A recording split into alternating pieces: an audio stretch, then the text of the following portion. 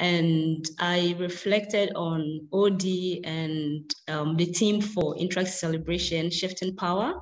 And I couldn't erase the fact that um, this all starts with um, our processes, um, shift in our own processes, in our own approaches. And I think that there's some internal work that needs to be done um, before the bigger shift happens.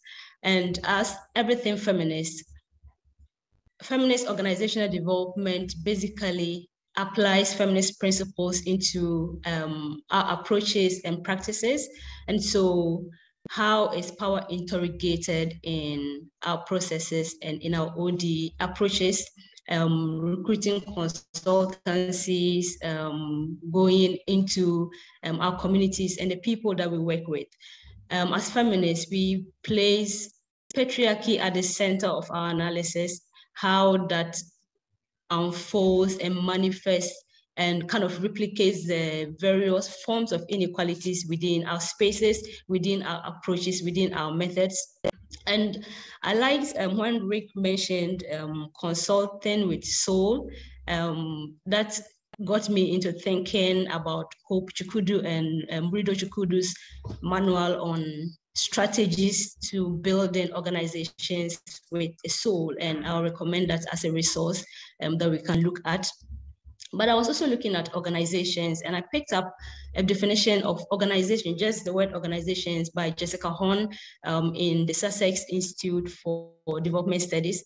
And she says an organization is a social unit of people that are structured um, and managed to meet a particular need or pursue a particular goal.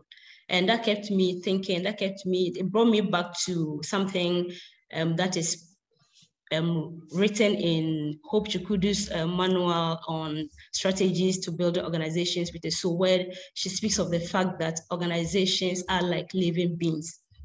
And I think that we can keep um, that in mind as we move towards um, this theme of shifting power. Now, two key things resonate with me in um, Jessica Horn's definition of an organization, um, structured and managed. Very often, our OD um, processes are backed by this edge of um, to achieve results, outcomes, and all. And I think that little cognizance is placed on the people that make up organizations, first of all, um, the people that contribute to the growth of these organizations. How are they structured? How are they managed? And now I think that what is important in terms of feminist approaches or feminist OD is our ability to examine and question power within our processes. Um, our ability to subvert what is considered normal and Rick also said something around singing the same song. I think that we have been singing the same song for a long time. And I think that it's important that we subvert what is considered normal, our traditional approaches, our traditional OD practices, so that that can change how power is examined. I mean, how power is exercised, how power is used in our organizations. I think that it's very difficult, it's complicated this whole theme about shifting power is complicated. Um, but I think that it all starts with, as I said, the individual, how we are intentional about our own unconscious biases, how these um, biases sometimes indirectly supports the um, existing power dynamics in our organizations. So for me, the question is how. We have talked about this. There are spaces, and um, just echo Rick again, he says, we have been singing the same song for far too long, but I think that there are some baby steps we can take. Um, we can start to engage in very honest conversations around the issues of power in our organizations.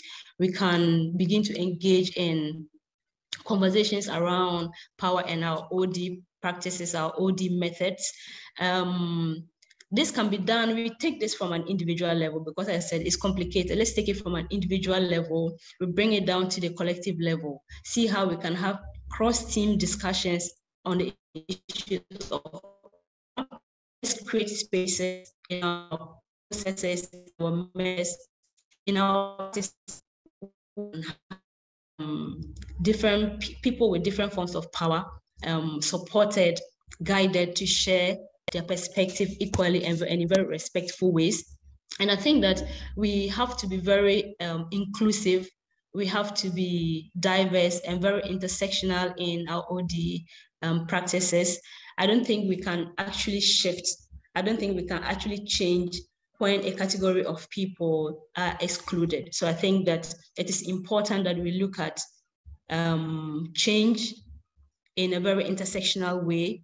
And just to, my last point is around the fact that we have to learn, we have to learn. And in the process of that learning, I think that there's some unlearning to be done.